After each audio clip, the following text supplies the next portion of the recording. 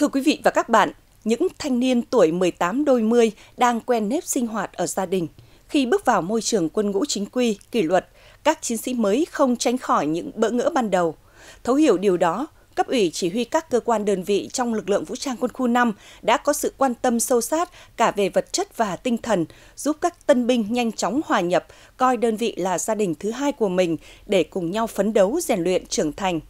Ghi nhận của phóng viên tại Trung đoàn 971, Bộ Chỉ huy quân sự thành phố Đà Nẵng. Một bữa cơm chiều của các tân binh Trung đoàn 971, Bộ Chỉ huy quân sự thành phố Đà Nẵng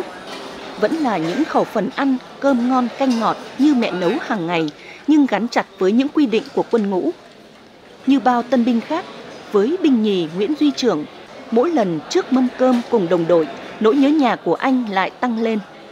Cơm ở trong đơn vị thì nó khác rất là nhiều so với ờ, bữa cơm với gia đình. Thời gian đầu thì ờ, em chưa quen, nhưng mà về sau sau khi cỡ một tuần thì ờ, kiểu, anh em đồng chí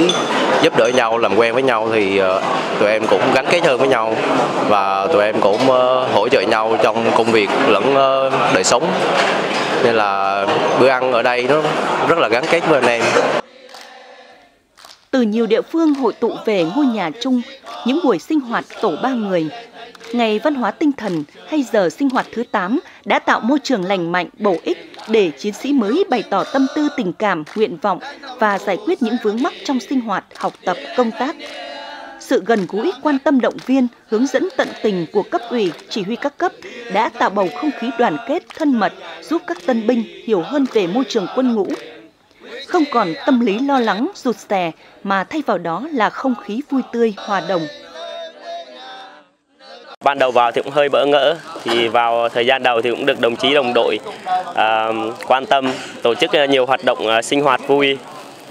À, trong đó có tổ nhóm ba người thì à, cũng à, chia sẻ với nhau rất là nhiều thứ. Có vui có buồn có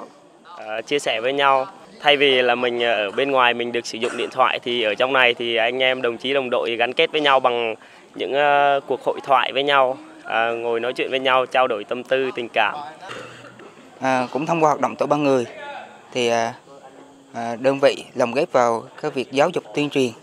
à, giúp cho chiến sĩ mới an tâm tư tưởng công tác. Những bỡ ngỡ lạ lẫm ban đầu cũng dần qua đi. Thay vào đó là những ấn tượng đẹp về tình đồng đội. Các chiến sĩ giờ đây đã chính thức bước vào mùa huấn luyện mới. Với họ được trở thành bộ đội cụ hồ cống hiến sức trẻ cho nhiệm vụ xây dựng và bảo vệ Tổ quốc là điều vinh dự, tự hào và đây sẽ là dấu mốc, những kỷ niệm đẹp, ý nghĩa của cuộc đời.